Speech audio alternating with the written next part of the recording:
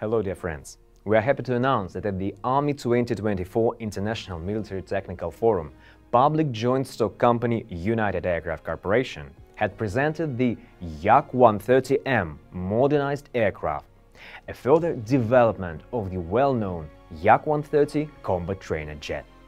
The key purpose of the modernization is to expand combat capabilities of the aircraft in order to increase its competitiveness on the foreign market.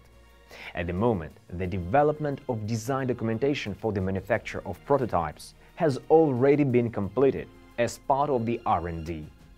So, key distinctive features of the newest Yak-130M comprise fitting the aircraft out with 130R on-board radar to provide detection and tracking of air and surface targets, as well as meteorological mode extended armament payload of 2500 kilos on 9 hard points that includes modern air-to-air -air missiles, high-precision guided bombs with laser guidance system, unified gun ports, and others.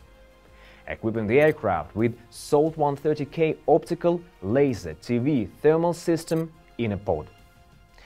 President S-130 on-board defense suite with such sensors as missile approach warning system and radar warning receiver, moreover with active jammer and countermeasure dispensing system. As well as fitting out the Yak-130M with KSS-130 onboard communications unit and avionics suite. Modern equipment and armament will provide operation of the Yak-130M aircraft for training and combat missions around the clock and in adverse weather conditions.